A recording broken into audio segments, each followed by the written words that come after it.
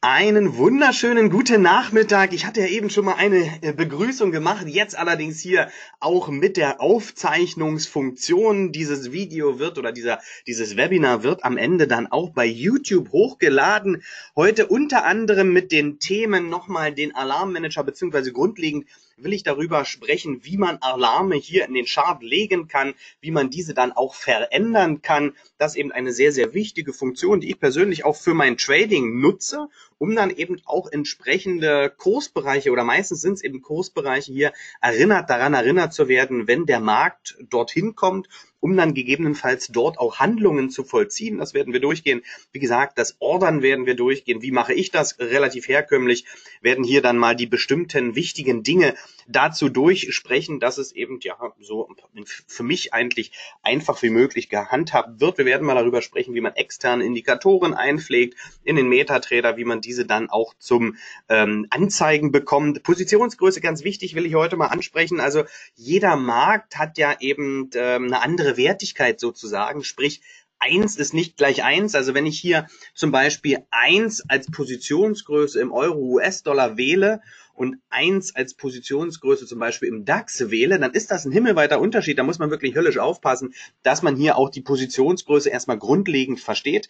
Wir werden mal als ähm, Indikator, als Add-on-Indikator mal die Korrelationsmatrix uns anschauen, wie zieht man die rein, wie kann man die erstmal zur Anzeige bringen, wie kann ich sie dann auch einstellen und vor allen Dingen, wie kann ich sie werten. Darüber werden wir sprechen und äh, wenn wir es schaffen, dann vielleicht auch nochmal eine Mini-Terminal und natürlich eure entsprechenden Fragen hier zum Metatrader. Also, es gibt ja den Metatrader 4 und 5, das kennt ihr und auch ihr kennt das schon aus dem letzten Webinar. Ihr habt die Möglichkeit natürlich hier über die Website, was sich allerdings zum letzten Webinar geändert hat. Der Broker JFD Brokers an sich bleibt und blieb bestehen, nur der Name hat sich geändert. Und ich hatte es im letzten Mal, glaube ich, schon erwähnt oder zumindest auch in den Livestreams, denn JFD hat ja kürzlich dann auch eine Bank gekauft und ist daran, eben euch als Kunden eben mehr und mehr Möglichkeiten bezüglich eurer Geldanlage, eures Investments, eures Tradings eben wirklich zu bieten. Und somit wurde hier jetzt der Name von JFD Brokers zur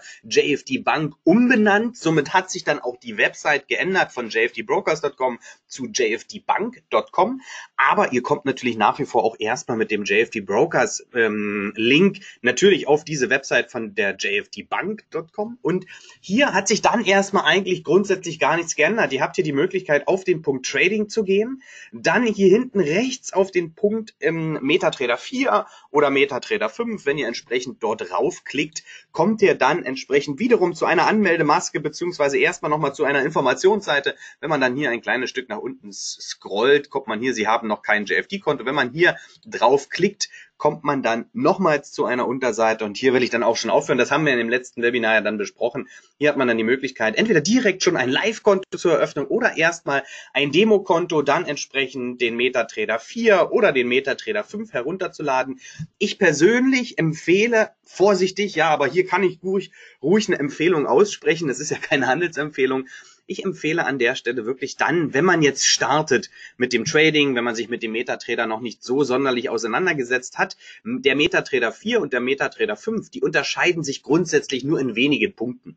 Aber in meinen Augen sind die Punkte, die sie sich, in denen sie sich unterscheiden, größtenteils positiv und nicht negativ. Somit würde ich hier auf jeden Fall dann sagen, okay, wenn man mit dem MetaTrader startet, sollte man gleich den MetaTrader 5 nutzen, denn man hat hier im MetaTrader 5 die Möglichkeit, können wir gleich uns nochmal anschauen, in der Marktübersicht sich grundsätzlich hat diese Software möglich, die Möglichkeit, viel mehr dort anzeigen zu lassen. Und da JFD Brokers ja mittlerweile auch eine Vielzahl an Aktien anbietet zum Handel und hier eben auch physische Aktien, also wirklich richtige, echte Aktien, und das ja wohlgemerkt zum Null-Price. Also ihr habt ja hier die Möglichkeit, rechts auf diesen Button kostenlos zu gehen. Wenn ihr dann wiederum auf den Punkt mehr erfahren geht, kommt ihr wiederum auf eine Unterseite, die es euch erklärt, warum und weshalb. Und dass es eben hier bei JFD Brokers in der Tat so ist, dass Aktien kostenlos gehandelt werden können. Und hier habe ich ja auch immer gesagt, physische Aktien, also keine CFDs auf Aktien, was es ja auch gibt, sondern wirklich reelle physische Aktien können kostenlos gehandelt werden. Die Informationen dazu findet ihr dort.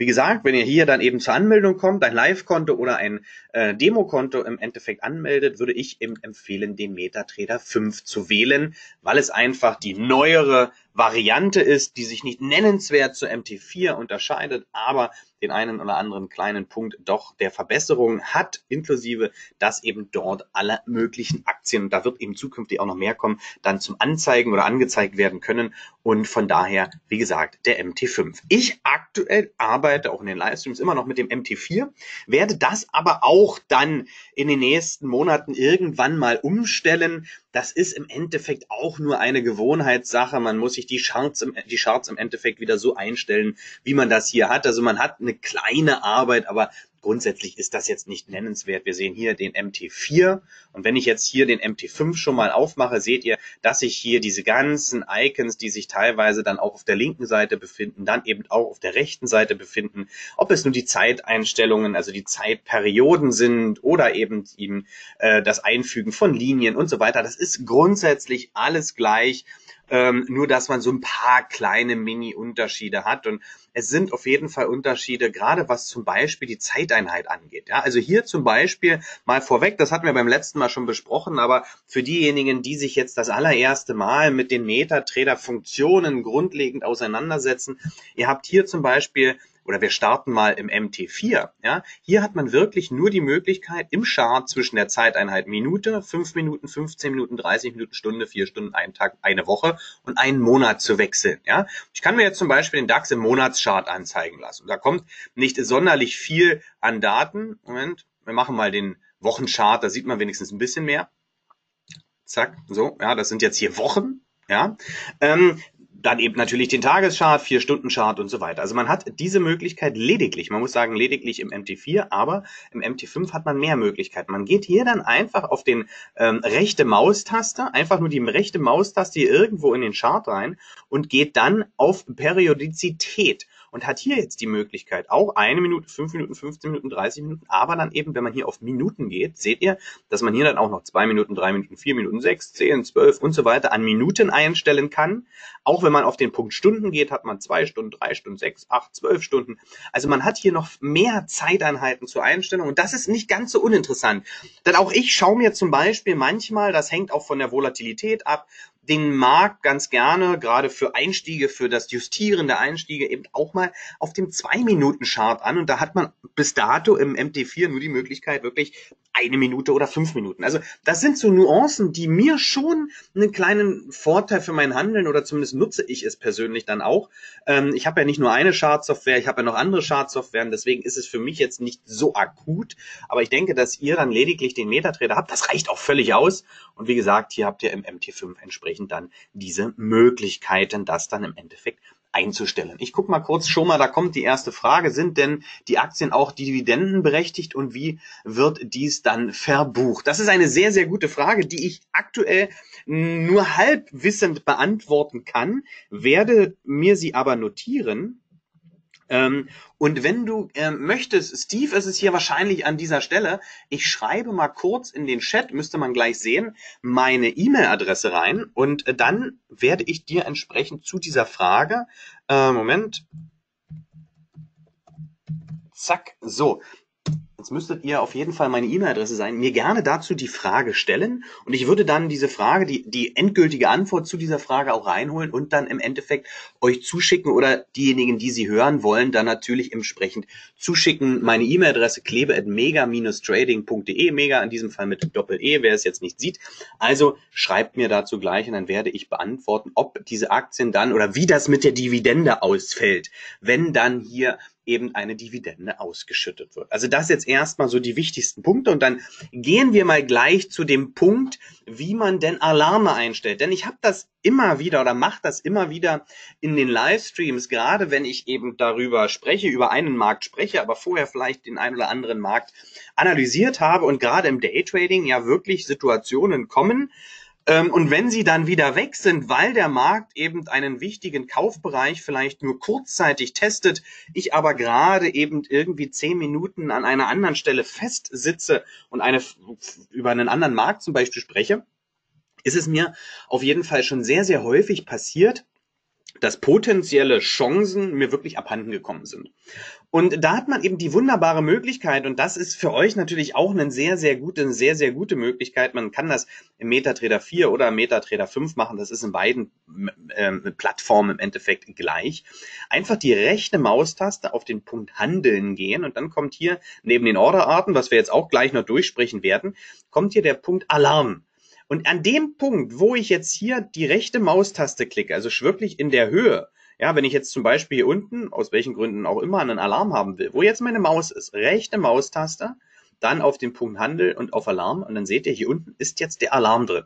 Den kann ich natürlich jetzt auch noch verschieben, indem ich wirklich hier auf diesen Alarm den, den, die Maus raufhalte, dann seht ihr in dem Moment, wo wirklich der richtige Punkt erreicht ist, zeigt hier dieser Mauszeiger nochmal so einen kleinen Mini-Pfeil, der nach oben und unten zeigt. In dem Moment, wenn das passiert, einfach die linke Maustaste drücken, gedrückt halten und dann habt ihr die Möglichkeit, diesen Alarm entsprechend dann natürlich hier auch nochmal anzupassen. Ihr habt ebenfalls die Möglichkeit, wenn ihr wieder mit der Maus hier drauf geht, dieser kleine Pfeil kommt, rechte Maustaste, entweder löschen, deaktivieren oder eben ändern gehen. Dann kommt ihr im Endeffekt ein Fenster. Und ähm, hier könnt ihr zum Beispiel dann auch nochmal sagen, okay, der Wert zum Beispiel, ich möchte hier habe jetzt grob den Alarm da reingelegt, dann mache ich es zum Beispiel so, wenn ich exakt 11.300 jetzt hier im Prinzip an, an diesem 11.300er Punkt erinnert werden möchte, dann kann man hier zum Beispiel nochmal feinjustieren, im Endeffekt die ähm, Wertigkeit. Ihr könnt hier eben sagen, Bit kleiner als der Wert oder auch gleich, Zeit beziehungsweise größer, kleiner. Also hier kann man dann eben nochmal auswählen, was wirklich passiert werden soll und was sehr interessant ist, ihr habt hier die Möglichkeit, entsprechend dann verschiedene Töne im Endeffekt auszuwählen. Und was hier noch interessanter ist, ihr könnt im Endeffekt auch jeden Ton wählen. Ja, also ihr könnt hier eben auch selbst Töne aufnehmen. Zum Beispiel äh, nehmt ihr einen Ton auf Kaufbereich im DAX. Ja, und äh, dann könnt ihr den entsprechend dann in den, in den Ordner schieben. Dafür geht ihr hier rechts einfach mal, ja, also hier in diesem Feld, da ist rechts nochmal so ein Feld mit drei Punkten, da klickt ihr rauf und jetzt landet ihr in diesem Ordner, wo im Endeffekt diese Töne drin liegen, könnt ihr hier oben verfolgen. Und den Ton, den ihr dann aufgenommen habt, den zieht ihr einfach, das sind hier Wave-Dateien, den zieht ihr hier einfach in diesen Ordner rein. Und dann habt ihr eben die Möglichkeit, dann nicht nur zwischen diesen Tönen auszuwählen, dann eben entsprechend sogar noch eure eigenen Töne hier mit dazu zu haben. Und dann könnt ihr von Markt zu Markt euch unterschiedliche Alarme mit unterschiedlichen Tönen reinlegen. Und das erleichtert schon auf jeden Fall die Handhabung enorm. Ja, ähm, und das ist auf jeden Fall für euch auch eine Möglichkeit, ähm, weil man, man ist ja oft gewillt, dann auch, wenn es eben keine nennenswerten Situationen gibt, wo man eben handeln sollte, ähm, dass man dann anfängt, irgendwelchen Mist zu machen. Ja? Und wenn man eben aber weiß, okay, wenn, dann möchte ich nur da agieren oder nur da agieren oder nur in diesem Markt agieren, wenn das und das passiert, dann habt ihr da eben die Möglichkeit, das alles mit Alarmen sozusagen zu versehen. Und wenn dann Alarme aufkommen, dann wird entsprechend hier eben das auch lospiepen und dann könnt ihr dann im Endeffekt eure Orders reinlegen oder eure Handlungen oder wenn der Markt, für mich ist es ja so, dass wenn der Markt jetzt hier im Endeffekt nach unten kommt, das ist das, was wir jetzt quasi auch in dem Livestream eben besprochen haben, im Livestream äh, US Opening Bell, der hier täglich um 15.55 Uhr stattfindet. Ich werde mal hier noch mein Zeichenwerkzeug dazu nehmen.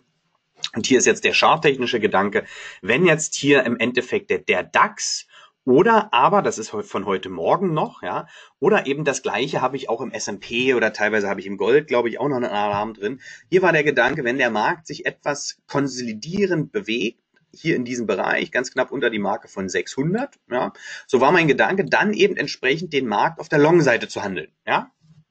Also wirklich erst bedingt dessen, da hier so eine scharfe Aufwärtsbewegung ist, eine leichte Konsolidierung abzuwarten in ein ja, charttechnisch wichtiges Niveau. Und wenn der Markt dorthin kommt, dann soll eben der Alarm auftönen, dann will ich mir die Situation angucken und dann eben hier unten idealerweise für den Kauf im Prinzip aktiv werden. Das ist dann heute im Prinzip ein bisschen anders gekommen, als wir das wollten. Wir haben dann auch auf der anderen Seite unser Geld verdient, also mehr auf der Abwärtsseite als auf der Aufwärtsseite, aber das war heute zum Beispiel der Gedanke. Jetzt habe ich den ja eben den Alarm hier unten nur aus Spaß reingelegt, geht man wieder rauf, rechte Maustaste und Alarm löschen und dann ist der Alarm wieder weg und so lege ich mir Tag für Tag Alarme rein. Bei mir ist es so, dass wenn dieser Alarm fünfmal angelaufen wurde oder der Bereich sich dann eben, ja, der Markt eben eine gewisse Zeit in diesem Bereich ist, dann kommt dieser Alarm fünfmal und dann löscht er sich danach automatisch. Das ist, glaube ich, sogar auch die Grundeinstellung. Ähm, jetzt kommen wir zu dem Ordern und da hatten wir ja eben dann schon mal geschaut, also die Ideen, die Stadt, oder die, die, die Auswertung, warum und weshalb man jetzt irgendwo kaufen möchte oder verkaufen möchte, ähm, die wollen wir hier natürlich nicht besprechen. Aber ähm, es gibt ja natürlich die verschiedensten Analysemethoden und so weiter, warum man jetzt kauft oder verkauft. Wir schauen gleich mal hier auf den US-Markt. Der ist zum Beispiel äh, sehr, sehr schwach äh, sehr, sehr stark, entschuldigt, der ist nicht sehr, sehr schwach, sondern der ist sehr, sehr stark. Und jetzt wollen wir hier mal gleich so ein paar Ideen einfach mit Orders belegen. Ich muss nur aufpassen, dass diese nicht gefüllt werden, denn ich bin hier nicht in einer Demo-Variante, sondern ich habe hier ein Live-Konto dahinter stecken. Und äh, hier sollte jetzt irgendwas, was ich jetzt nur zeigen möchte, aus Spaß an der Freude, definitiv nicht eintreten. Deswegen werden wir jetzt auch diese ganzen, diesen ganzen Prozedere wirklich vernünftig durchgehen. Und das erste, was hier wichtig ist, ist eben die Positionsgröße, was auch gleich noch eine Thematik werden wird, über die wir sprechen. Ich sagte ja schon eingangs, dass eigentlich jeder Markt gesondert bezüglich der Positionsgröße betrachtet werden sollte. Ähm, nicht nur aufgrund dessen, dass die ATR, also die Schwankung unterschiedlich ist und zum Beispiel ein Dow Jones sich am Tag aktuell auch mal schnell 200, 250, 300 Punkte bewegt. Also man hat hier eine relativ große Chance, auch von diesen 300 Punkten mal etwas mitzunehmen auf der einen oder anderen Seite. Es bedeutet im Umkehrschluss aber auch, dass ich entsprechend mit etwas größeren Stops arbeiten sollte. Im DAX zum Beispiel ist es aktuell so, dass der sich lediglich in etwa so 120 130 Punkte durchschnittlich am Tag bewegt, also ungefähr halb so viel wie der Dow Jones und somit etwas weniger Stopgröße benötigt, aber auch etwas weniger Chance bietet. Was einfach im Umkehrschluss bedeutet, ich persönlich im Handel handele teilweise im DAX etwas größere Positionen als im Dow Jones, weil einfach, ähm, wenn ich einen Stop setze, ja, der Stop zum Beispiel im äh, DAX 20 Punkte groß ist, dann ist es so, dass höchstwahrscheinlich in der gleichen Situation im Dow Jones der Stop so 30, 35, vielleicht sogar 40, 45 Punkte groß sein sollte. Warum das so ist, das kann man zu einem anderen Zeitpunkt mal besprechen, aber das bedeutet da, wenn ich in etwa mein Risiko gleich halten möchte, dass ich entsprechend dann vielleicht nur mit dem 1,5-fachen äh, oder mit, mit der Hälfte oder mit 75 Prozent der Positionsgröße im Dow Jones unterwegs sein sollte, als entsprechend im DAX. Und wie ändere ich das? Das ist die einfachste Möglichkeit, hier oben auf diesen kleinen Pfeil zu klicken. Das ist im MetaTrader 5 dann ähnlich. Wenn wir da mal hingehen, haben wir hier oben auch so zwei kleine Bildchen. Ja, und hier muss man im MetaTrader 5 dann dieses Bildchen mit Blau und Rot wählen, beziehungsweise hier im MetaTrader 4 im Endeffekt diesen Pfeil. Und jetzt kommt hier ähm, ein, ein, ein, ein Orderfenster, wo ich im Market relativ schnell kaufen und verkaufen könnte und habe hier oben die Möglichkeit, meine Positionsgröße einzustellen. Jetzt ist diese 32 definitiv zu hoch für den, für die meisten von uns als Positionsgröße für den DAX, weil das würde schlussendlich bedeuten, wenn ich jetzt hier mit einer Positionsgröße von 32 CFDs diesen DAX hier kaufe, der aktuell bei 11.688 rangiert, und wenn er jetzt hier zum Beispiel auf 87 fällt oder auf 86 fällt pro Punkt, also von 87 auf 86, wäre das ein Unterschied plus oder minus von 32 Euro. Das ist eine ganze Menge. Ja, und wenn man weiß, okay, der Stop, der sollte hier grundsätzlich Pi mal Daumen 20 Punkte groß sein, dann haben wir hier mal kurz bei 20 Punkten Risiko und 32 Euro pro Punkt Wertigkeit hätten wir mal schnell ein Risiko von 640 Euro. Das ist relativ groß für die meisten Konten prozentual. Von daher ist dieses, diese Positionsgröße hier aktuell zu groß man muss hier auch definitiv darauf achten. Wenn wir zum Beispiel jetzt hier 32 als Positionsgröße eingestellt haben, ja, und wenn wir jetzt hier dann eben auf den Dow Jones switchen und hier uns dann auch entsprechend die Positionsgröße abwenden, dann seht ihr, da steht auch 32. Jetzt machen wir das hier mal für den DAX auf 2. Dann gehen wir jetzt hier entsprechend auch wieder zum DAX, öffnen das hier auch wieder ähm, steht, sollte eigentlich jetzt Dachdichte 2 drin stehen, wahrscheinlich erst, wenn man ordert. Aber ihr seht, dass es sein kann, auch wenn ich in dem einen Markt die Positionsgröße abgeändert habe, dass hier oben dann immer noch eine andere Positionsgröße drin steht, beziehungsweise wenn ich jetzt hier im DAX mit zwei als Positionsgröße handle, dann zum Dow Jones gehe und da aber vielleicht nur mit eins als Positionsgröße handeln möchte und hier aber zwei drin steht, dann muss ich das im Endeffekt abändern. Also jedes Mal, was ich damit sagen möchte, was jetzt eben wichtig ist, sehr wichtig ist für Handlungen und in meinen Augen einer der kriegsentscheidenden Punkte, die Positionsgröße, das Positionsgrößenmanagement, dann sollte man auf jeden Fall dort immer reinschauen. Das ist, gibt noch andere Punkte, wo man das einstellen kann. Das muss nicht nur da sein, aber das ist die schnellste Variante, das zu prüfen. Man kann somit eigentlich dieses Feld dort oben immer in jedem Chart offen lassen. Wir haben ja letztens besprochen, warum hier unten im Prinzip Reiter drin liegen, warum man hier unten dann entsprechend zwischen den Märkten wechseln kann. Ja, wie man zwischen den Märkten wechselt, wie man neue Reiter festlegt und so weiter. Und jetzt haben wir den DAX, dann haben wir hier den Dow Jones und dann haben wir hier den S&P, da ist das Feld noch nicht offen, da kann man es dann auch aufmachen. Hier steht dann immer noch 32 drin und hier ist es zum Beispiel so, dass hier die Positionsgröße wiederum etwas größer gewählt werden müsste, wenn man wiederum DAX, US, äh, äh, also den Dow Jones und den S&P miteinander vergleicht, weil einfach es hier so ist, dass zwischen 58 und 59 das dann auch nur ein Euro wäre bei einer Positionsgröße von eins. Ja, also hier äh, Dollar, Dollar, nicht Euro, Dollar, sondern man muss da auch immer noch unterscheiden zwischen Euro und Dollar. Aber hier, dadurch, dass die Schwankung im S&P quasi viel, viel geringer ist als im Dow Jones oder DAX, kann man hier natürlich mit einer größeren Positionsgröße agieren. Wobei 32 hier auch noch etwas zu groß ist für den einen oder anderen, denke ich. Aber hier würde man dann eben, sage ich mal, zum Beispiel 10 machen. Ja, na, so, machen wir mal einfach eine 10. Aber, und jetzt können wir das gleich mal versuchen, wann das sich ändert. Wenn ich jetzt hier in dem einen oder anderen Markt ordere, und hier wird es wirklich interessant eigentlich, mein Gedanke ist es, dass eventuell die US-Märkte aktuell diese Stärke, die sie zeigen, ähm, kurzfristiger Natur nicht ganz halten können. Und wenn der Markt jetzt hier mal kurz über diese Hochs guckt, dass er dann eventuell nochmals nach unten laufen kann. Das möchte ich allerdings nicht mit einer Order jetzt schon platzieren, ja, wenn der Markt hier kurz rüber geht über dieses linke Hoch, dass wir dann gegebenenfalls hier erstmal nochmal Schwäche sehen könnten. So, jetzt gibt es verschiedene Möglichkeiten, das zu handeln. Zum einen würde man jetzt abwarten, wenn die Situation eintritt.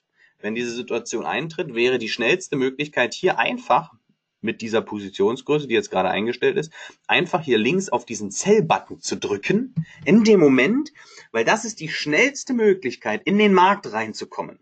Ja, also Sell zu diesem Kurs, der da angezeigt wird, darauf klicken und dann ist man relativ zügig sofort mit 10 CFDs auf den S&P Short im Markt.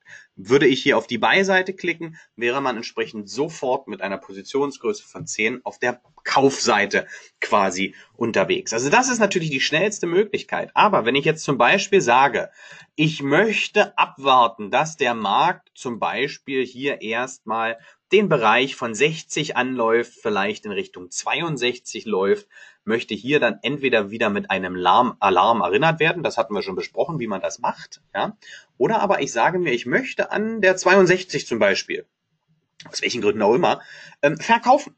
Also ich möchte da jetzt schon eine Order hinlegen, also nicht hier Market verkaufen an der Stelle oder auch möchte auch nicht warten und äh, mit großen Augen auf den Bildschirm schauen und nur warten, wann dann nun endlich diese 62 erreicht wird. Nein, es gibt natürlich eine Möglichkeit auch schon vorher hier Positionen reinzulegen, um dann entsprechend, wenn der Markt dorthin kommt, eine Ausführung zu bekommen.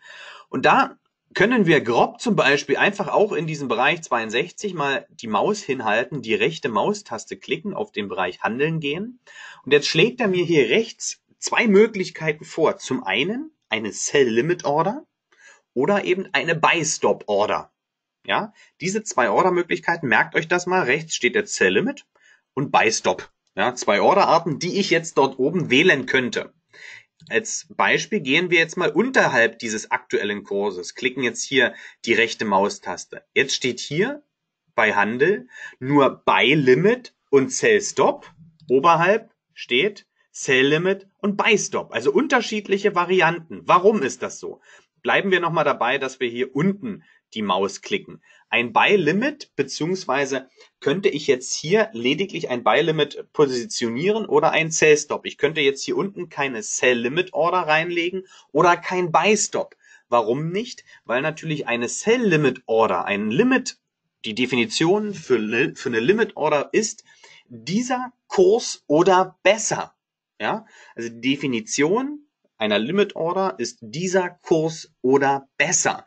Und ähm, es bedeutet natürlich, wenn ich hier unten eine Limit Order reinlegen würde, unterhalb des aktuellen Kurses, wäre es ja besser, wenn der Markt hier oben den aktuellen Kurs nimmt. Weil natürlich oberhalb dieses Bereiches zu verkaufen, ist nun mal besser. Und von daher kann ich hier unten keine Limit Order reinlegen.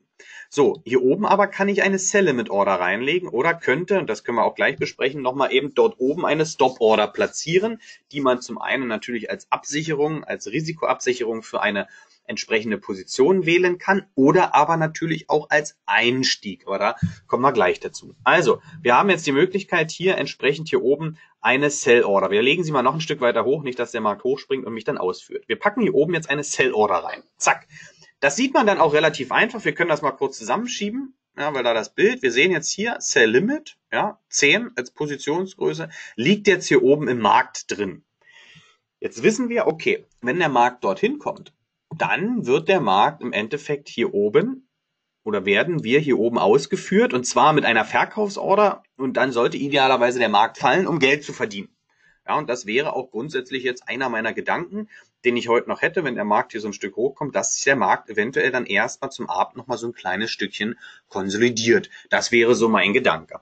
Ähm, mal schauen, ob ich das handle, aber wir wissen jetzt, okay, da oben liegt eine Order und die würde dann verkaufen. Jetzt hat diese Order allerdings noch keinen Stop. Man kann das alles schon vorprogrammieren, aber ich will heute mal bei den Basics bleiben. Somit klickt man jetzt hier einfach. Ihr seht, immer wenn diese Maus, wenn ich darauf gehe und die Maus diesen kleinen Pfeil rechts noch bekommt, dann ist die Maus gerade jetzt in diesem Fall auf der Order, auf dieser gestrichelten Linie. Man hat jetzt die Möglichkeit, den Doppelklick mit der rechten Maustaste zu machen oder rechte, äh, mit der linken Maustaste Doppelklick oder rechte Maustaste auf den Button Ändern gehen. Und jetzt kommt hier so ein Feld. Und jetzt sehen wir, dass aktuell der Preis dieser Order hier, die Positionsgröße kann man jetzt aktuell nicht mehr ändern. Ja, aber dass hier aktuell die Order, die liegt jetzt bei 61,66, das könnte man jetzt hier entsprechend ändern. Ja, man kann ja auch mit der Maus reingehen und irgendwie 75, 75 draus machen. Ja, Moment, das haben wir hier das ein wenig falsch gemacht. Also da müssen wir jetzt eingeben 2875, 75 oder wenn man möchte eben entsprechend dann auch 0,00. Egal was man, ne, man gibt dort den Kurs ein, an dem im Endeffekt der Verkauf aktiviert werden soll. Und man kann dann hier ein Feld drunter im Endeffekt den dazugehörigen Stop direkt eingeben. Hier einfach mal auf den Pfeil nach oben klicken, dann passt sich automatisch diese, diese Zeile hier unten oder dieses Feld mit dem hier oben eingegebenen Kurs an. Und wenn man dann sagt, okay, ich möchte hier als Beispiel einen Stop von drei Punkten haben oder von vier Punkten haben, na logisch, dann passt schreibe ich hier, wenn ich vier Punkte wähle, einfach dann natürlich eine 79 rein und jetzt habe ich dann entsprechend vier Dollar oder vier Punkte im Endeffekt an Risiko auf diese Positionsgröße. Und wir wissen, wenn man sich das jetzt ausrechnet mit der Positionsgröße 10 und mit den entsprechenden Abstand, dann weiß ich auch, wie teuer mich das wird. In Dollar, wohlgemerkt, man muss das Ganze dann immer noch in Euro umrechnen. So, und dann kann man hier zum Beispiel auch noch ein Take Profit reinlegen, was ich sehr selten mache. Und dann klickt man hier unten einfach auf Ändern. Man könnte hier auch noch einen zeitlichen Verfallsstempel reinpacken. Kann man auch machen, mache ich allerdings meistens händisch. Ich nutze schon zeitliche Komponenten als Beispiel. Wenn ich jetzt zum Beispiel wirklich diese Idee fahren würde und würde da oben verkaufen wollen, äh, weiß ich ja, dass der S&P und auch der Dow Jones oder der DAX zum Beispiel ja Kernhandelszeiten hat. Und wenn ich weiß, okay, hier geht eigentlich so um 18, 19 Uhr ein wenig die Luft raus, ja, dann könnte man hier als äh, Beispiel 19 Uhr als Zeit eingeben und dann würde dann um 19 Uhr diese Order automatisch gelöscht werden, weil ich einfach sage, okay, wenn es bis dahin nicht passiert ist, was ich sehen möchte, dann wird es auch später nicht mehr passieren. Ja, kann man hier so einen zeitlichen Stempel noch einpacken. Und dann gehen wir hier unten auf Ändern und jetzt sehen wir das hier im Endeffekt, wir haben ja die, den Einstiegskurs noch auf 75 geändert. Ne? Wir sehen, diese Order steht jetzt noch ein Stück weiter höher. Und wir sehen darüber, das machen wir mal ein bisschen größer, dass ihr das auch erkennt. Moment, so, zack. Wir sehen jetzt darüber hier so einen roten gestrichelten Strich und das ist das Risiko. Ja, das ist der Stop. Also wenn der Markt hier hinkommt, dann sollte er idealerweise an diesem Punkt, hier auch vielleicht einhergehend mit diesem Widerstandsniveau, sollte der Markt idealerweise drehen läuft er dann doch noch ein Stück weiter höher, dann werden wir, wird man hier ausgestoppt. Schafft er es hier wirklich zu drehen, hat man hier auf jeden Fall eine gesunde Chance. Also das jetzt erstmal hier zu dieser Orderart. Und wenn man sich dann noch sagt, dann können wir noch mal kurz einen Take Profit reinpacken. Wie gesagt, ich mache Take Profit relativ wenig. Ähm, wenn der Markt hier hinläuft und dann im Prinzip hier anfängt wieder zu reagieren und dann sagt man sich, okay, wenn der Markt vielleicht hier in diesem Bereich fällt, ja, dann möchte ich aus solch einer Position dann auch mit einem Take Profit, also dann wird diese Position im Gewinn automatisch geschlossen, dann zum Beispiel rausgehen. Und wenn man sagt, okay, das ist so vielleicht der Bereich hier um die Marke 52, 2852, dann kann man natürlich dann auch entsprechend sagen, okay, ähm, ich gebe hier dem äh, dieser Position dann eben auch noch einen Take Profit von 52 zack, und gehe dann hier entsprechend auf Ändern und dann liegt hier unten dann für diese Position ein Take Profit drin. Was passiert jetzt, wenn der Markt im Prinzip oder wenn diese Position hier oben ausgeführt wird, der Markt dann fällt, ja, jetzt gibt es mehrere Möglichkeiten. Entweder der Markt steigt dann doch wieder an, würde mich hier oben per Stop rausholen, oder der Markt fällt in unsere gedachte Richtung, würde hier unten dieser Take Profit greifen. In diesem Moment wird entweder, wenn zuerst der Take Profit gerissen wird, dann wird hier oben dieser Stop gelöscht, automatisch mit der Schließung der Position oder wenn eben der Stop zuerst erreicht wird und der Take, Take Profit vorher halt nicht, dann wird aber automatisch dieser Take Profit dann auch mitgelöscht, weil das gehört im Prinzip zu dieser Order, das nennt sich dann One Cancel the Other OCO Order und ähm, da wird dann im Prinzip im Endeffekt die Gegenposition oder diese der Stop oder das Take Profit dann automatisch mitgelöscht. Somit kann man natürlich mit solchen Gedanken dann auch gegebenenfalls diverse Swing Trading Signale vielleicht am Wochenende schon eingeben oder dann äh, jeweils einmal am Tag und dann vielleicht Richtung Arbeit dackeln und äh, dann hat man vielleicht die eine oder andere Order hier im Markt. Und dann kann man eben schauen, okay, äh, wenn eben Szenario A eintritt, ähm, dann wird man vielleicht ausgestoppt, aber wenn es dann eben wirklich so kommt, wie man sich das vorstellt und der Markt dreht an diesen Punkt und läuft dann erstmal wieder in Richtung Süden, dass man dann eben auch entsprechend im Take Profit ausgeführt wird. Was ich allerdings dann immer noch mache, ist ja solche Positionen auch zu managen, also dass ich dann irgendwann anfange, diesen Stop nachzuziehen, ja, ähm, kann ich jetzt eben nicht so zeigen, weil wir keine Position offen haben. Was ich zeigen kann, ist, man kann jetzt im Prinzip diese komplette Order mit den Abständen des Stops mit den Abständen des Take Profits verschieben, indem ich einfach auf die blaue Linie klicke, auf die Orderlinie und diese jetzt wirklich hier, na, zack, dann nach oben oder nach unten verschiebe. Ah, jetzt hätten wir sie nach unten verschoben. Jetzt seht ihr, der Stop ist gleich geblieben, der Abstand des Stops ist gleich geblieben, der Abstand des Take Profits ist gleich geblieben und man hätte jetzt hier eben nur diese Order in Summe komplett verschoben. Ich kann das Ganze eben auch nach oben tätigen, also ich das Ganze nach oben verschiebe. Ich kann auch den Take Profit einzeln natürlich kleiner machen, ja, indem ich einfach nur auf den Take Profit gehe. Ich kann hier oben den Stop an sich, Moment, schieben wir mal die Order ein Stück wieder runter, dass ich hier oben an den Stop besser rankomme. Ich kann jetzt einzeln natürlich auch diesen Stop verschieben.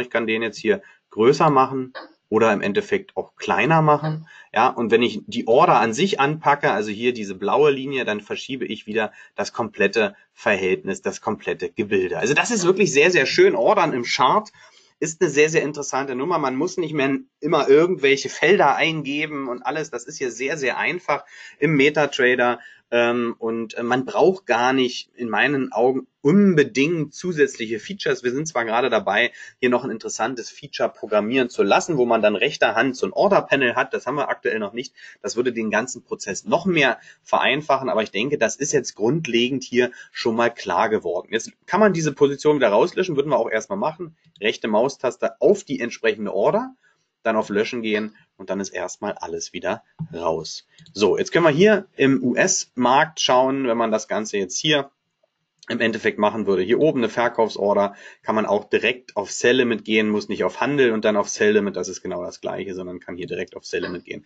Hätte dann die Order drin und zack, ist es schon drin. Ja, also das geht wirklich zack, zack. Order drin, beziehungsweise wenn ich zum aktuellen Kurs einsteigen möchte und verkaufen möchte, dann einfach hier links draufklicken und ruckzuck ist man im Markt drin. Ja, also ich denke, das ist relativ einfach, wenn man es mal gehört hat. Relativ simpel. Das Wichtigste ist, dass man zum einen hier entsprechend dann ähm, die Ordergröße immer sich anschaut. Es gibt noch dieses Mini-Terminal, ähm, werden wir wahrscheinlich jetzt heute gar nicht großartig schaffen. Was hier wichtig ist zu beachten, ähm, in diesem Mini-Terminal, das ist nochmal eine kleine Erweiterung zu diesem Terminal, was hier ist. Man kann hier dann zum Beispiel einstellen, dass direkt mit dem Klicken hier, mit dem Market-Klicken dann auch direkt mit dieser Order, die sich dann öffnen würde, direkt schon ein Take Profit und ein Stop mit drin ist, den man dann äh, individuell anpassen kann. Also da gibt's noch so ein paar mehr Vereinfachungen, aber ähm, ich empfehle eigentlich immer nicht zu viel Spielerei zu machen, denn die drei Mausklicks mehr, ja, ähm, man konzentriert sich doch etwas tiefgreifender als alles so extrem zu automatisieren. Von daher sollte es hier auf jeden Fall dem Handel keinen Abbruch tun, wenn man die Schritte nacheinander macht, beziehungsweise dann eben, wenn die Order drin liegt, entsprechend dann auch den Stop und den Take Profit reinpackt. Ähm, das jetzt erstmal zu den Orderarten und eben auch mal der Abriss dazu eben zu den Positionsgrößen, dass diese auf jeden Fall erstmal grundlegend unterschiedlich gewählt werden sollten. Jetzt gibt es noch einen großen Unterschied und da gehen wir mal in Euro-US-Dollar. Wenn ich jetzt hier die ähm, Größe 1 wähle, nur die Größe 1, nicht 32 oder 10, was wir jetzt hatten, sondern hier im Euro-US-Dollar die Größe 1 wähle, dann ist das eine relativ große Positionsgröße. Denn hier ist es nicht so, dass im Prinzip sich alles um 1 Euro verschiebt, wenn wir hier entsprechend äh, vor dem Komma die 1, die auf 2 äh, wechselt, sondern hier ist es in der Tat so, dass wir mit einem CFD grundlegend 100.000 Euro bewegen würden, wenn hier der, der Wechselkurs von 1,00 auf 2,00 wechseln würde. Ja, das klingt erstmal viel und kompliziert. Was man sich unterm Strich einfach merken muss, das kann man sich auf ein Stück Papier schreiben ähm, oder eben äh, so, eine, ja, so eine kleine Liste an den Bildschirm kleben, ja, wenn man das eben nicht im Hinterkopf hat. Wenn wir jetzt hier aktuell einen Kurs haben von 1,12 ähm, was haben wir hier? 14,3. 14,3. Ja, das ist ja hier unten der aktuelle Kurs. Zack. Ja, ähm, jetzt kann man sich merken, die letzte Ziffer ähm, der Wechselkurse sind eigentlich äh, nicht ganz so wichtig, ja, sondern vielmehr ist die vierte Stelle ähm, hier im Euro, US-Dollar, im britischen Pfund, auch in anderen Wechsel äh, Währungspaaren. Also da muss man sich wirklich mal mit auseinandersetzen. Die Stelle hier ist wichtig. Die vierte Stelle nach dem Komma. Ähm, wenn sich diese verändert, ja, von vier, also im Endeffekt spricht man ja von 1,1214 ähm, oder im Endeffekt spreche ich, weil man sieht es ja von nur 14 auf 15. Also wenn sich jetzt hier der äh, Euro-US-Dollar-Kurs von äh, 14 auf 15 ändert, wären das 10 Dollar bei einer Positionsgröße von 1. Ja, also eine Kontoveränderung von 10 Dollar, was ungefähr aktuell Pi mal Daumen eine Veränderung von 8,50 Euro wäre. Sprich, wenn ich hier 1 wähle und einen Stop wähle von, also als Positionsgröße 1 und einen Stop wähle von zum Beispiel 10 Punkten, dann habe ich bereits ein Risiko von in etwa 85 Euro. Das ist eine ganze Menge. Ähm, wenn ich hier zum Beispiel 20 Punkte wähle, habe ich mal schnell ein Risiko von 160 Euro, 200 Dollar. Ähm, also je nach Kontogröße, ja klar, wenn ich ein 100.000 Euro Konto habe oder auch ein 50.000, 30.000 Euro Konto, dann sind natürlich auch Stopgrößen von 80, 90, 100 Dollar oder Euro äh, durchaus akzeptabel. Aber was ja viele ganz gerne machen, die wählen hier nicht nur eine 1, sondern wählen hier schnell mal eine 2, eine 3, eine 4, eine 5, gar eine 10 dann habe ich natürlich extrem große Schwankungen. Die sind natürlich für den einen oder anderen extremer Nervenkitzel und der ein oder andere möchte das auch. Aber zugegebenermaßen, so richtig Sinn macht es nicht. Denn wenn ich einen 10, 15.000 Euro Konto habe, dann möchte ich pro Trade eigentlich nicht exorbitant groß verlieren. Und im Daytrading oder selbst im kurzfristigeren Swing Trading ist eine Stopgröße von einem Prozent in meinen Augen viel zu viel. Ich arbeite teilweise mit Stopgrößen 0,2, 0,3, manchmal 0,5 Prozent des Kontos. Ja, was da bedeutet, wenn ich 30.000 Euro habe, dann habe ich trotzdem manchmal Stops in Dollar oder in Euro gerechnet, die bei 80, 5, manchmal 50, 80 oder 100 Euro oder Dollar liegen. Also wirklich extrem klein und da ist selbst für mich, wenn die Stopgröße ein bisschen größer wird, die Positionsgröße von 1 noch relativ groß. Ja, im Future-Handel ist das natürlich nochmal eine ganz andere Nummer, da brauchen wir jetzt gar nicht drauf eingehen. Da ist ja schon ein Tick, also man spricht hier von einem Tick. Das ist die vierte Stelle nach dem Collar, äh, nach dem Collar, nach dem Komma, sind dann 12,50 Dollar im Euro, US-Dollar im Future-Bereich. Das ist natürlich dann eine ganz andere Größenhausnummer. Hier würde ich hier eben ein bisschen im Endeffekt aufpassen und da ist eben eins nicht gleich eins. Ja, in den Indizes ist es relativ einfach. Da haben wir eben, wenn der DAX von 12.000 auf 12.001 steigt und ich habe Positionsgröße 1, dann ist das ein Euro, ich habe Positionsgröße zwei, dann sind das zwei Euro Veränderung. Hier in den Währungen, auch im Gold, muss man da sich erstmal kurzzeitig mit beschäftigen, sich eine kleine Liste zurecht machen, die man sich irgendwo ranklebt. Man sollte sich damit wirklich mal auseinandersetzen, dass man im Endeffekt hier die Positionsgröße nicht falsch wählt. Ja, aber das soll jetzt kein Webinar zu Positionsgrößen werden. Es war nur nochmal der Hinweis dazu und vor allem eben die Wichtigkeit, auf die Positionsgröße zu achten. Und was hier, ich weiß jetzt gar nicht, wie es hier ist. Nein, hier ist es nicht so. Ähm, in anderen Softwarelösungen, und das ist nicht nur mir, sondern auch schon anderen Leuten immer mal wieder passiert, wenn man dann in diesem Feld hier oben, ja, wo, wo hier eins steht, wenn man hier das, den Cursor drin hat von der Maus, und dann an diesem Rädchen von der Maus dreht. Ja, das passiert hier nicht. Aber es gibt Softwarelösungen, da ist es so. Wenn ich jetzt, man spielt da gerne mit diesem Mausrädchen, ne? und wenn dann der Cursor halt in dieser Positionsgrößenfeld drin ist, dann verändert man damit die Positionsgröße. Und äh, man kann sich vorstellen, wenn man so eine halbe Stunde mit dem Mausrädchen hin und her bewegt hat, ja, entweder ist man da zufällig relativ gering noch, aber wenn man Pech hat, äh, kann da auch schon mal eine relativ große Positionsgröße eingestellt sein. Und wenn man dann eben die entsprechende Margin auf dem Konto hat, dann kann man hier auch mal vielleicht statt der geplanten ein oder zwei mal schnell eine 10 oder 20 haben. Und dann kann man nur hoffen, dass man das relativ zügig mitbekommt, um hier nicht irgendwann mit einem großen, verwunderten Gesicht aufzuwachen, ja, weil man vielleicht einen exorbitant großen Gewinn auf einmal auf der Uhr hat oder eben mit einem doch etwas größer als geplanten ähm, Betrag in dem Stop landet. Also das jetzt nur nochmal so eine kleine Anekdote und das ist nicht nur mir, sondern da kenne ich viele Profis, denen das im Endeffekt schon mal passiert ist. Also Positionsgröße beachten. Drei Ausrufezeichen an dieser Stelle. Ähm, Kommen wir nochmal zu diesen ganzen Indikatoren. Also wenn hier zu Fragen sind, ähm, Ordermöglichkeiten, ähm, Orderarten, was hier vielleicht noch der letzte Punkt ist, ganz kurz zu besprechen. Wenn man jetzt zum Beispiel sagt, im Euro-US-Dollar, okay, ich möchte jetzt noch nicht shorten, sondern wirklich den Breakout shorten. Also ich möchte hier am tiefsten Punkt, na, da sind wir noch nicht ganz, sagen, okay, ich möchte noch nicht jetzt verkaufen, sondern erst verkaufen, wenn der Markt hier unten wirklich den Breakout vollzieht klassische Breakout-Strategie. Ja? Ähm, dann kommt man mit einer Limit Order auch nicht weiter, denn man würde ja, das hatten wir ja schon besprochen, wenn ich jetzt hier unten an dem roten Punkt eine Limit Order reinlege, würde die ja jetzt sofort ausgeführt werden, weil aktuell ist ja der Kurs besser.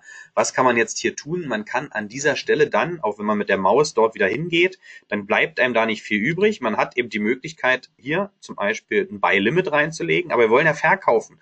Und da wir verkaufen wollen, wir wollen ja den Break auf der Unterseite handeln, also den Breakout verkaufen sozusagen an dieser Stelle, dann gibt es hier eigentlich nur die Möglichkeit, die man wählen kann, und zwar ein Sell Stop den man dort unten platziert. Das wäre die aktuelle Möglichkeit, den Breakout auf der Unterseite zu handeln. Also hier arbeitet man dann nicht mit Limit Orders, ähm, sondern mit einem mit der Stop Order auch für den Einstieg. Ja, und ähm, hier ist es dann wichtig, darauf zu achten, dass natürlich gerade bei Breakouts, das sind dann immer so die Erfahrungswerte, Breakouts äh, in der Regel finden diese etwas schneller statt, was eben dazu führt, dass man dann gegebenenfalls auch Slippage bekommt, was natürlich im CFD-Bereich genauso möglich ist, wie es im Future-Bereich möglich ist. Und wenn ich dann hier meine Order platziere, wirklich an dem Breakout, dass es dann sein kann, selbst wenn ich die Order jetzt bei 1,12, 10 oder sowas eingestellt habe, dass ich dann trotzdem eine Ausführung noch etwas tiefer bekomme bei 0,9, bei 0,8, bei 0,7. Also das kann durchaus passieren. Das hängt jetzt nicht zwingend an dem Produkt CFD, sondern das ist das Gesetz des Marktes. Denn eine Stop-Order wird zu einer Market-Order und äh, da Breakouts in der Regel relativ zügig stattfinden, kann es in allen Produkten dazu kommen, dass man hier eben entsprechend auch eine ja, wirklich etwas schlechtere Ausführung bekommt. Ich versuche solch Geschichten dann immer vorzugreifen und versuche solch Breakouts zu antizipieren, also versuche dann wirklich kurz vorher schon in den Markt reinzukommen. Aber wie gesagt, das führt dann auch immer zu weit. Also das jetzt nochmal alles zu Orderarten. Wir kommen mal ähm, zu den Add-ons, was ich jetzt hier denke, was relativ interessant ist. Ich schaue nochmal ganz kurz, hier kommt eine Frage. Gibt es eine Gesamtübersicht über alle Positionen, die aktuell offen sind? Definitiv gibt es diese. Ähm, schau auch, Markus, an dieser Stelle ähm, gerne mal auf dem YouTube-Kanal von JFT Brokers. Ähm, wir können das ganz kurz mal machen und dann gehen wir an der Stelle weiter. youtube.com einfach auf Standard YouTube gehen. Äh, aber ich denke, das kennt ihr ja auch schon dann auf JFD. Oder JFD Brokers suchen. Aktuell heißt es hier dann eben noch JFD Brokers oder man findet äh, den YouTube-Kanal von JFD unter JFD Brokers. Und ähm, dann sehen wir hier, das ist schon acht Monate her, da habe ich schon mal so ein kleines Video gemacht zum Metatrader. Das ist somit nicht so interessant, aber nach solch einem Bild suchen wir, denn vor einem Monat, wir gehen hier auf Videos, ja, drauf. Moment, dauert hier bei mir mal so ein bisschen länger. So, und jetzt kommen ja hier die ganzen Videos, die äh, im Prinzip jeden Tag die Livestreams meiner Seite, äh, von meiner Seite und dann auch von Chris Kämmerer ähm, und die hier eben täglich stattfinden. Und dann suchen wir einfach hier mal nach diesem orangenen Bild, was wir gerade gesehen haben. Ja, und das müsste so vor einem Monat sein. Das ist jetzt zwei Wochen. Wir müssen dann mal ein bisschen weiter nach unten scrollen, denn die Add-on-Webinare finden ja nur einmal monatlich statt, jetzt hier in diesem Rahmen. So, und ähm, Moment, Moment, Moment, lädt hier ein bisschen länger. So, orangenes Bild, orangenes Bild. Da ist es. Also, hier haben wir MetaTrader 4 und 5 Tutorial, Einführung und Grundeinstellungen. So, und ähm, hier wird heute ja der zweite Teil gerade abgedreht, aber hier haben wir im Prinzip diese ganzen Grundeinstellungen und, und, und die ganze Einführung schon mal besprochen bezüglich des Metatraders und zum Beispiel dann auch über diesen Punkt. Der nennt sich im Metatrader 5, äh, 4 Terminal oder das heißt auch im Metatrader 5 so. Es ist hier im Metatrader 4 dieses, dieser Button oder entsprechend im Metatrader 5 auf Ansicht gehen, auf Terminal klicken. Ja, und dann kommt man hier auch in so eine Darstellung. Jetzt sieht man hier wiederum, hier hat man lauter Reiter unten. Ja, hier kann man dann die äh, eingestellten Alarme sehen. Ihr seht, hier sind eine ganze Menge Alarme meinerseits eingestellt. Hier kann man sich Nachrichten anschauen, die teilweise von JFD Brokers reinkommen. Ähm, dann kommen hier auch nochmal so wie so E-Mails, ein Posteingang, den man hat, wo wichtige Informationen, gerade hier zum Beispiel, schaut mal Market Holiday Kalender 2018, Market Holiday Kalender 2019, also Januar 2019, sehr, sehr wichtig zu wissen. Dann eben hier auch die, ähm, diese Stock, äh, die, die Aktienverfügbarkeit und so weiter. Also da kommen immer interessante Nachrichten rein. Und jetzt geht man hier auf, zum Beispiel auf Konto History scrollt hier mal nach unten und sieht jetzt hier die Trades, die jetzt hier stattgefunden haben in den letzten Tagen in diesem Konto. Da seht ihr, dass das Konto hier 25.000 groß ist. Ähm, und ihr seht dann hier auf dem Punkt Handel, wir haben aktuell keine Positionen, ähm, diesbezüglich hier offen. Ähm, aber hier sieht man dann, wenn ich offene Positionen habe, auch die offenen Positionen. Rechts sehe ich dann den offenen Gewinn, den offenen Verlust und kann auch hier in dieser Darstellung dann entsprechend den Stop anpassen. Hier Ne, man hat da die Spalte Stop Loss, man hat die Spalte Take Profit, man hat die Spalte Preis und man klickt dann einfach hier doppelt drauf und kann dann hier entsprechend dann auch den Stop einstellen, den Take Profit einstellen. Man kann auch hier in dieser tabellarischen ähm, Einst oder in diesem tabellarischen Auflistung der der offenen Trades, dann hier hinten ist so ein Kreuz und dann kann man auch direkt die Orders schließen. Und hier stehen auch die ganzen Limit Orders drin, hier stehen dann auch die ähm, Stop Orders drin. Also wenn ich zum Beispiel jetzt hier einen, einen, so, so einen Sell-Stop reinlege für den Euro-US-Dollar dann und der noch nicht ausgeführt ist, dann ist der hier auch unter den aktiven Orders dann eben auch als, ähm, also unter den aktiven offenen Trades sind das dann eben auch nochmal die offenen Trades oder offenen Orders, die noch nicht ausgeführt sind, die dann ebenfalls hier drin im Prinzip dargestellt werden. Also das jetzt hier der Punkt. Ähm, okay, perfekt, das reicht schon. Gut, wir kommen nochmal. Wir gehen mal hier an die Seite auf den Punkt Navigator. Ähm, dann öffnet sich links ein Feld, wo zum Beispiel ähm, Indikatoren hinterlegt sind. Wenn man hier mal nach oben scrollt, wie gesagt, man kann hier fast ein komplettes Webinar draus machen. Wichtig ist, auf den Punkt Navigator gehen, dann kommt hier links dieses Feld. Und ihr seht, dass hier dann zum einen JFD ähm, entsprechend Indikatoren beziehungsweise Add-ons hinterlegt sind, beziehungsweise hier unten dann eben auch nochmal diese Experten ähm, Add-ons hinterlegt sind. Hier oben hat man zum Beispiel diesen Punkt Order-Historie. Wenn man hier als Beispiel mal auf den DAX guckt, ne, dann seht ihr hier so Striche drin ähm, im Markt. Da haben wir hier vorne, ähm, Moment, dann auch nochmal so einen Strich. Ne, schauen wir mal hier kurz drauf. Ich zeichne euch das mal ein. Ähm, wir haben jetzt hier dann so ein Strich, hier unten war der Einstieg, ja, und hier war der Ausstieg. Denn heute war hier der Einstieg und hier unten der Ausstieg. Ja, das sind ein Long- und ein Short-Trade. Ähm, und das ist die Order-Historie, die man sich im Chart anzeigen lassen kann. Ich kann diese löschen, indem ich hier auf Chart-Funktionen Indikatoren klicke. Dann steht hier JFD Order-Historie, löschen, ja, schließen. Und dann sind diese diese Striche im Chart im Prinzip raus. Ich kann jetzt aber auch hier unter dem Punkt JFD Order History im Prinzip einfach raufklicken auf diesen Punkt, die linke Maustaste gedrückt halten und jetzt schiebe ich im Prinzip dieses Ding einfach nur in den Chart rein, lasse die Maus los. Jetzt kommt hier nochmal so ein Feld, wo ich so diverse Einstellungen dann eben auch immer machen kann zu den, ja, zu dem, was ich da reinschiebe und klicke auf OK und dann ruckzuck sind im Endeffekt hier jetzt diese Striche wieder drin. Und ich kann hier einfach optisch äh, zeigen und sehen, was passiert ist im Markt, welche Trades gemacht wurden und äh, es kann dann auch zum Beispiel zurückscrollen. Hier haben wir dann mal einen Break-Even-Trade und dann ist in dem Konto hier eine ganze Menge nichts passiert. Ähm, gucken, wo jetzt hier der nächste Trade kommt. Hier ist nochmal ein Break-Even-Trade. Ähm, ja, also da ist, man sieht, hier kommen nochmal so ein paar kleine Gewinne. Also ähm, da ist nicht viel passiert hier in, in diesem Konto ähm, in den letzten Wochen, weil ich eben zwei Konten handle. Ähm, ja, ist hier einfach in dem Konto nicht so viel passiert, da ist in dem anderen Konto ein wenig mehr passiert. So, also das dazu. Und dann gibt es hier noch, worüber wir kurz sprechen wollten, noch abschließend, ähm, die Korrelationsmatrix. Und das ist zum Beispiel auch so ein Add-on, was man hier äh, für den Metatrader von JFD zur Verfügung gestellt bekommt.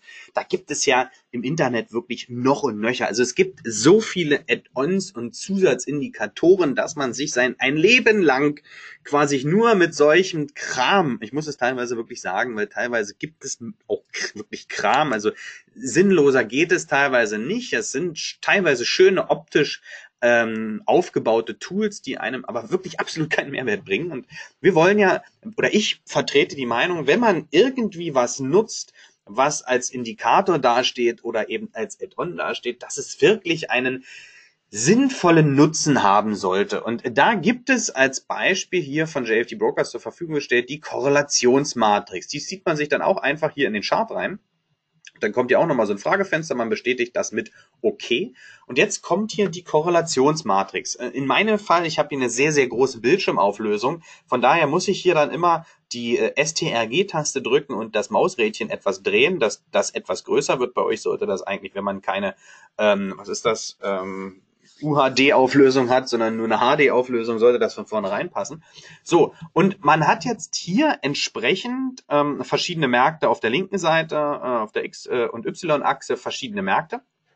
Und ähm, man hat dann im End im Beispiel, wenn man sich hier den Euro, äh, den äh, Dow Jones nimmt und diesen von der Korrelation mal mit dem DAX vergleicht, machen wir mal hier mit Farbe, Moment. Also Dow Jones, hier, Ne? Geht jetzt hier mal rüber in Richtung DAX. Zack, DAX, guckt oben hier, das ist der DAX. Und man hat jetzt hier eine Korrelation, wohlgemerkt jetzt in diesem Fall auf dem 30-Minuten-Chart. Also hier wird wirklich der 30-Minuten-Chart von den Bewegungen her, die letzten 200 Kerzen, miteinander verglichen. Und man sieht hier, dass zum Beispiel der Dow Jones mit dem DAX und auch mit dem S&P eine relativ große Zahl hat. Und zwar in diesem Fall 95 und 97. Die Korrelationsmatrix geht nur bis 100. Und ich kann an dieser Stelle sagen, dass zum Beispiel 95 und 97 sehr, sehr hohe Zahlen sind. Ja, sprich, wenn zum Beispiel der Dow Jones, Moment, aufwärts läuft, ja, dann heißt das, dass gleichzeitig auch der DAX aufwärts laufen und der S&P aufwärts laufen. Zack. Also die laufen positiv korrelieren, die laufen gleich. Man gab zum Beispiel oder man sah eine lange Zeit, das ist aktuell ein wenig aufgehoben, dass man zum Beispiel sagt, dass der Goldpreis negativ korrelierend zu den Indizes ist. Ja, ähm, sehen wir auch, dass wir hier zum, also Gold ist ja XAU US-Dollar, dass wir hier zum Dow Jones zwar eine negative Zahl haben, minus 68, zum DAX minus 69, zum S&P minus 65. Also wir haben schon eine negative Korrelation. Allerdings ist die mit Abstand nicht so hoch wie zum Beispiel die positive Korrelation der Indizes an sich. Und es gibt Zeiten, auch Zeitebenen, ähm, wo es in der Tat so ist, wenn die Indizes steigen, dass im Endeffekt Gold fällt. Aber in den letzten Monaten, eigentlich Jahren, hat sich diese Korrelation eigentlich teilweise komplett aufgehoben. Zeitweise war es sogar so, dass die Indizes klar gestiegen sind, dass Gold gleichzeitig klar gestiegen ist. Also hier diese einst negative Korrelation, die jetzt aktuell zwar leicht negativ ist, aber auf jeden Fall hier man wirklich mit arger Vorsicht herangehen sollte. Als Beispiel, als charttechnisches Beispiel dafür kann man sich mal vergangene Handelswoche die Goldbewegung anschauen, wie massiv Gold unter Druck gekommen ist, aber im Umkehrschluss die Indizes zwar gestiegen sind, aber mit Abstand nicht so stark wie Gold gefallen ist. Eigentlich hätte man hier sagen müssen, uh, ähm, Gold ist stark unter Druck. Wir gehen mal die Indizes long mit dem Gedanken, jetzt müssten die Indizes auch stark steigen. Die sind zwar weiter nach oben, auch jetzt am Vormittag und über Nacht sind sie auch gestiegen, aber mit Abstand nicht so doll, wie Gold im Endeffekt gefallen ist. Und mit dieser Korrelationsmatrix kann man mal anfangen, sich hier zu beschäftigen, um einfach auch mal die Verhaltensmuster des Marktes zu verstehen, ev eventuelle Korrelationen zu verstehen oder aber, was einem vielleicht teilweise als Bär aufgebunden wird, auch einfach mal zu kontrollieren. Denn ich kenne den einen oder anderen, der wirklich Strategien aufbaut auf Marktkorrelationen. Als Beispiel ist es aktuell natürlich definitiv eine realistische Überlegung. Ja, auf einem 30-Minuten-Chart ist das recht positiv, sollte eben zum Beispiel auch auf einem Stundenchart recht positiv sein. Wenn wir uns dann hier wieder den US-Markt anschauen mit dem DAX beziehungsweise mit dem S&P 500, den Dow Jones vergleichen. Also hier handle ich zum Beispiel, wenn ich sehe, dass der S&P vielleicht gerade wirklich an eine Long-Bewegung ausbaut und der Dow Jones noch so ein bisschen hadert, dass man dann im Daytrading zum Beispiel auch den Dow Jones kurzzeitig long nimmt, weil einfach eine positive Korrelation da ist und manchmal der eine Markt dem anderen so ein bisschen hinterherhinkt oder eben auch der DAX, der vielleicht manchmal noch ein bisschen hängen bleibt, aber die US-Indizes stark nach oben gehen, dann kann man natürlich auch den DAX mal kaufen, nur aufgrund dessen, weil eben gerade starke Bewegungen in einem anderen korrelierenden Markt, positiv korrelierenden Markt gerade sehr, sehr stark stattfindet. Also hier kann man sich austoben. Äh, da kann man natürlich auch ein Webinar an sich draus machen, wie man das handhabt, was man da beachten muss, was man nicht beachten muss, gerade was eben Korrelationen zwischen Währungen und so weiter äh, im Prinzip bedeutet. Also ich wollte euch das nur mal zeigen, auch nochmal als Anregung geben, könnt euch gerne mal mit beschäftigen. Man kann diese Handelsliste auch schlussendlich dann erweitern. Man kann hier auf diesem Punkt dann im Endeffekt weitere Märkte hinzufügen oder im Endeffekt dann eben auch löschen. Zack, jetzt haben wir ähm, Gold gerade rausgenommen oder Silber war es, glaube ich, was wir rausgenommen haben. Jetzt kann man hier auf Hinzufügen gehen. Müsste hier dann eben zack S A so zack US-Dollar ähm, ist ja Silber kann man hier wieder hinzufügen und dann hat man hier Silber quasi wieder mit drin. Also man kann hier löschen und hinzufügen und dann würde sich entsprechend hier diese Tabelle nach oben und nach rechts im Endeffekt oder nach unten und nach rechts erweitern und man kann hier wirklich alles miteinander vergleichen. Entsprechend auch auf den verschiedenen Zeitebenen und dann hier im Endeffekt dann auch die Kerzenlänge im Endeffekt dann noch verändern. Und man kann hier sogar noch ähm, Hervorhebungen machen. Ähm, das habe ich selbst noch nie gemacht, aber man sieht jetzt hier, dass man starke ähm, positive Korrelationen hervorhebt, ähm, dass man schwach oder keine hervorhebt. Habe ich selbst noch nie gemacht. Ja, ähm, ich mache, lasse hier immer keine Hervorhebungen und kann das eben dann auch trotzdem mit dem Auge auswerten. Das soll es von meiner Seite gewesen sein. Ich konnte euch hoffentlich ähm, rechts und links mal so ein paar Gedanken ähm, und Handhabungen meinerseits des Metatraders erklären. Mal schauen in dem nächsten Add-on-Webinar, was wir da thematisch abgreifen werden. Vielleicht schnappen wir uns mal wirklich nochmal die ganzen Orderarten in Zusammenhang mit dem Mini-Terminal, dass wir hier wirklich nochmal daran arbeiten und nochmal so ein paar Fallstricke durchgehen. Alles auch, was mit der Positionsgröße zusammenhängt. Ich würde mich auf jeden Fall freuen, wenn ihr natürlich beim nächsten Mal wieder mit dabei seid. Wünsche euch auf jeden Fall Good Trades und Mega Trading und ähm, wünsche euch nur das Beste. Wenn ihr weitere Fragen habt, meine E-Mail-Adresse steht noch aktuell im Chat. Ähm, und gerade was das betrifft bezüglich der Aktien, werde ich mich hier mal kümmern. Und wenn hier eine Frage diesbezüglich als Mail kommt, werde ich da entsprechend natürlich antworten. In diesem Sinne, euch einen wunderbaren Nachmittag. Bis zu den nächsten Livestreams. Euch nur das Beste. Euer Markus Klebe. Bye bye und ciao.